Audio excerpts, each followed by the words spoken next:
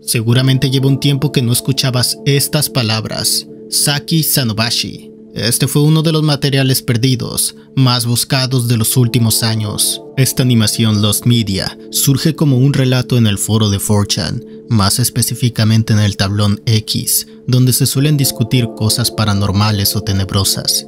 En una publicación, las personas relataban bajo el anonimato sus experiencias en la Internet profunda o Deep Web.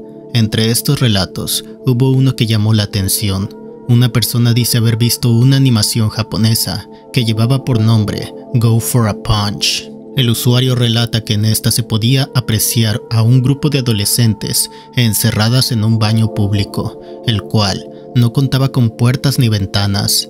Las chicas discutían sobre la posibilidad de salir, pero al ver que no tenían salvación, poco a poco van perdiendo la cordura, hasta que después de pasar días sin alimento, deciden desvivirse de manera muy gráfica. Unas se golpeaban repetidamente contra el suelo, otras se rasgaban el cuello con las uñas y otra pedía ayuda para ser ahogada en el lavamanos. El usuario anónimo recuerda que aquella animación tenía un dibujo muy amateur, además de tener detalles estéticos que indicaban que esta se trataría de una animación de los años 80 grabadas en un videocassette. Estos detalles, sumados a lo mostrado en la propia animación, daban un aura inquietante y aterradora. El usuario dice haber llorado hasta dormir aquella noche. Sí, yo sé que a estas alturas es ridículo, pues el tema de la Deep Web está muy quemado, pero eso no quita que un material de este estilo pueda llegar a existir, algo así como lo que vimos con el caso de los media anterior, LOL Superman. Este tenía algunos detalles sin sentido, pero aún así existía esa pequeña posibilidad de que sea real. La cosa es que a comparación de este último caso, Saki Sanobashi, ya fue comprobado que no fue cierto. Todo fue creado por una persona y se le salió de las manos. Y claro, cualquier persona puede decir que ha sido el creador de Saki Sanobashi, pero esta persona mostró pruebas contundentes. A pesar de esto, al día de hoy, Siguen existiendo personas que creen que aquello fue real. El lost media es un fenómeno que puede llegar a jugar con nuestras emociones. Está en nuestra naturaleza el deseo de rescatar lo que pueda quedar perdido para siempre, y cuando ese mismo deseo es destruido, entonces buscamos la forma de hacer real aquello que tanto hemos buscado. Tanto en los casos de LOL Superman como en el de Saki Sanobashi, ambos han sido recreados por medio de animaciones y otros tipos de fan arts, lo que nos lleva al juego del día de hoy. Esta es la historia de Saki Sanobashi, el material perdido hecho videojuego. Y prepárense, porque ahora sí se viene lo turbio. ¡Ay, qué miedo! ¡Yo me voy!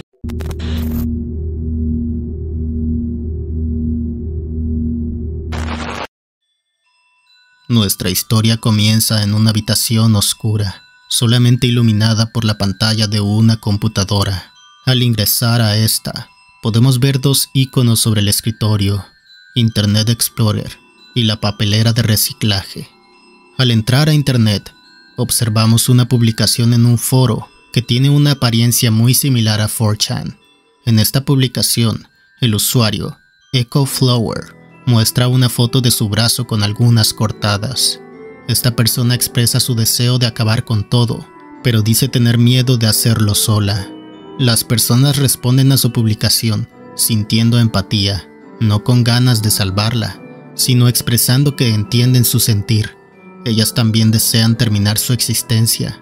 Es así que tomando el rol de la protagonista, Joan ha recibido un mensaje de la autora de la publicación, Echo Flower, en el mensaje se puede leer lo siguiente.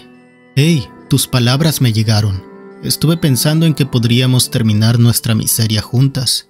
Digo, para hacerlo más fácil y no estar solas. Hablé con otras más y están de acuerdo. Confirma tu asistencia con una foto de tu documento de registro. Después de esto, las chicas llegan al sitio acordado, un baño de una escuela abandonada. Al ingresar a este, podemos observar a Saki Sanobashi, una joven rubia que apenas entra a la habitación nota algo particular. La puerta hizo un ruido muy extraño al cerrarse, pero Saki no le da importancia. Hana Watanabe es otra de las chicas que la acompañan. Ella parece ser muy asustadiza y tímida. Apenas entran, esta decide ir a un rincón de la habitación. Sayuri Tanaka, otra de las chicas, dice, Bueno, ¿cuál es el plan?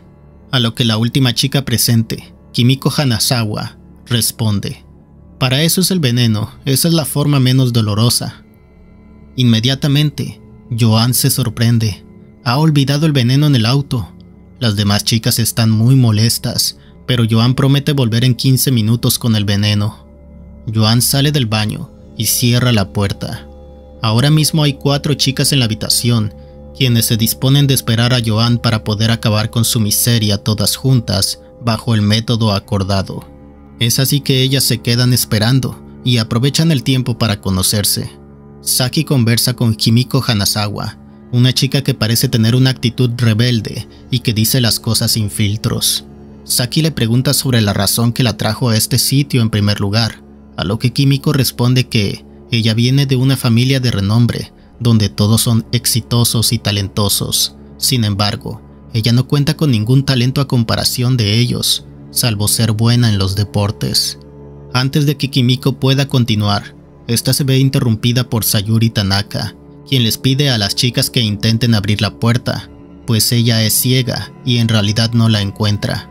Las chicas renuentes no encuentran una buena razón para abrir la puerta, les parece algo ilógico, pero después de la insistencia de Sayuri, ellas intentan abrirla, solo para darse cuenta que está totalmente cerrada. Las chicas golpean, gritan, pero nadie responde. Eso era obvio. Están en un pueblo remoto, casi deshabitado, en una escuela abandonada. Las chicas se molestan con Joan. ¿Por qué demonios cerró la puerta? Hace tiempo que fue a buscar el veneno y no ha regresado. Hana Watanabe, la chica tímida, plantea la posibilidad de que Joan deliberadamente las haya dejado encerradas con el fin de que las chicas se arrepientan de su decisión de acabarlo todo.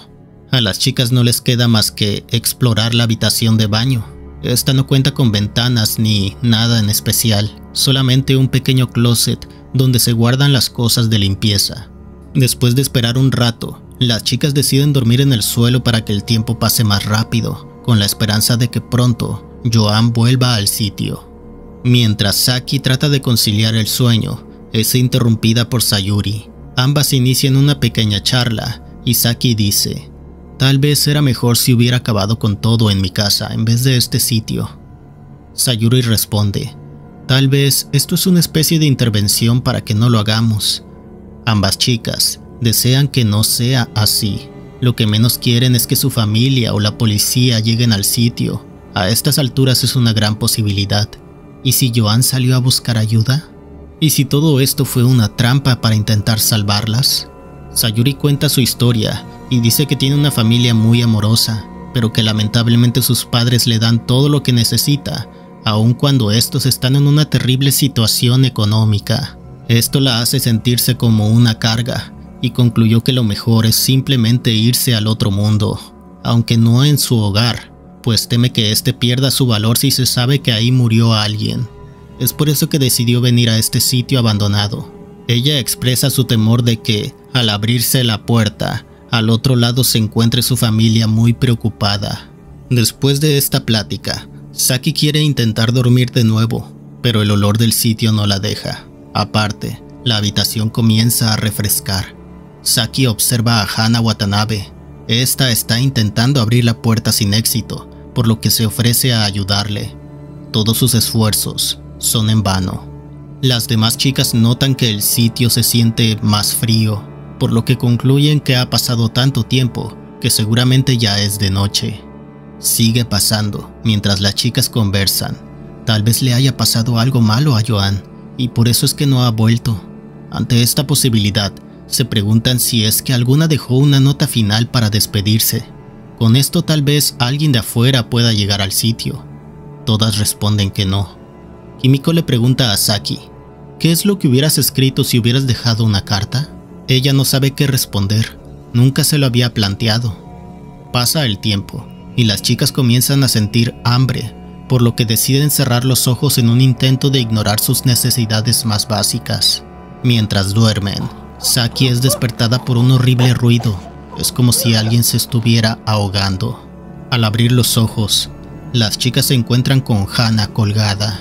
Había tomado una soga que estaba en el closet de limpieza. El marco de la puerta en los cubículos era lo suficientemente alto para que Hannah cometiera este horrible acto. Después de una pequeña revisión, era bastante obvio que Hannah ya no estaba con vida. Kimiko se molesta mucho porque Hannah la despertó con su acción final. Saki y Sayuri se quedan conversando y esta última menciona que al hablar con Hannah, esta ya le había dicho que no podía esperar más, pues a final de cuentas vino a quitarse la vida. Saki bebe un poco de agua del grifo. Esta sabe horrible, pero es que ya no aguanta la sed y el hambre. Ella se dice a sí misma que el cuerpo de su amiga ya no le causa impacto, que ahora solamente lo ve como un maniquí. En realidad hay una cosa que le preocupa, y es que el cuerpo se pudra. Saki decide cerrar los ojos de nuevo, y tiene un sueño donde un hombre alto le ofrece un tenedor y cuchillo a una chica. Ella se acerca a una soga, y Saki despierta aterrada, diciéndose a sí misma, no es mi culpa, yo solo estoy viendo. Las chicas despiertan e intentan salir una vez más. No lo logran, y Sayuri molesta dice, nos dejó encerradas aquí a propósito, seguramente quiere que nos muramos de hambre. Yo venía con un plan, quería morir sin dolor. Las chicas se desesperan, gritan y embisten la puerta hasta quedar adoloridas. A estas alturas no tienen muchas fuerzas. El hambre es tanta que plantean comer insectos o el propio cuerpo de su compañera. Ambas opciones suenan repugnantes, pero ya no pueden más y deciden buscar algo para poder cocinar a Hannah. Ellas buscan en el closet de limpieza, buscando algún encendedor, pero no hay nada que las ayude a comenzar el fuego. De pronto, Sayuri les dice a las chicas que ya tomó una decisión y que va a acabar con su vida en este momento. Ella les encomienda que si logran salir de aquí, le cuenten a su familia que no fue su culpa y que solamente intentaba ayudarlos. Sayuri busca en el closet y encuentra un objeto lo suficientemente afilado para desvivirse. Las chicas le sugieren que apunte al cuello, para que así su final sea mucho más certero y rápido, pero Saki dice haber leído que era mucho más rápido si atacaba el muslo. Después Kimiko le sugiere que lo haga dentro de un cubículo, para que no llene la habitación de su líquido vital. Saki la acompaña a un cubículo y Sayuri ataca su muslo en un parpadeo, salpicando a su compañera un poco. Ahora solo queda Saki y Kimiko. Esta última le pregunta, si salimos de aquí, ¿me seguirás hablando? Saki responde que sí, y ambas deciden dormir. Ahora, estamos de nuevo en la habitación con la computadora. Al revisar la papelera de reciclaje, encontramos dos archivos. Uno contiene los nombres y fotos de las chicas, fotos de su final. Quien mira las fotos menciona que Hannah se lo merecía por ser una inadaptada y permitir que sus compañeros la molestasen. En la foto de Sayuri, la persona menciona que es una malagradecida con sus padres, quienes le han brindado todas las comodidades posibles, y ella decide tomar esta decisión. También vemos la foto de la publicación original, perteneciente a una desconocida Kyu Shikabame.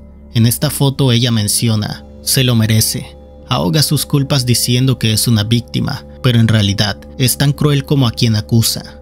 Por último, vemos que hace falta una última foto, la foto de Kimiko, quien, hasta ese momento, no se ha quitado la vida. En el otro documento que está en la papelera de reciclaje, que lleva por nombre Direcciones, este solamente dice, solo sigue filmando. Ahora, volvemos a la habitación de baño y escuchamos el agua correr.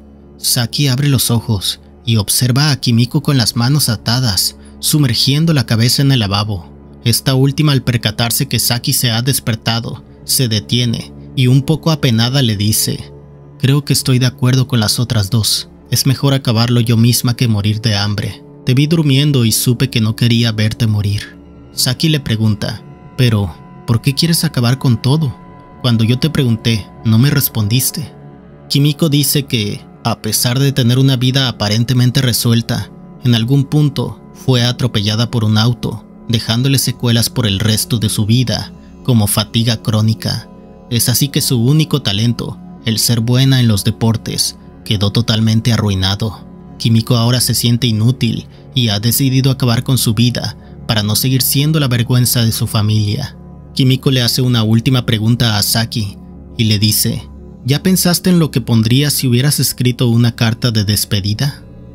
Es aquí que como jugadores podemos escribir libremente cualquier frase. Kimiko solamente responde, ya veo. Y ahora le pide a Saki que la ayude a terminar su vida, pues su reflejo de sobrevivir no le permite ahogarse a ella misma, siempre termina saliendo a tomar aire. Saki pone sus manos sobre la cabeza de su compañera y la sumerge en repetidas ocasiones, hasta que ésta finalmente pierde la vida. Al finalizar, Saki dice, lo hice, lo logré, murieron antes que yo, está grabado, lo he grabado todo. Así que, ya puedes volver, volverás a buscarme, ¿no? Mientras siga viva voy a esperarte, voy a esperarte. El juego termina y salen los créditos. Durante estos, se escucha la puerta del baño abrirse. Por último, el juego nos manda un enlace de la cuenta X oficial del mismo. Aquí podemos leer todas las frases finales de quienes han jugado el juego, dando un aura inquietante que rompe la cuarta pared una vez más.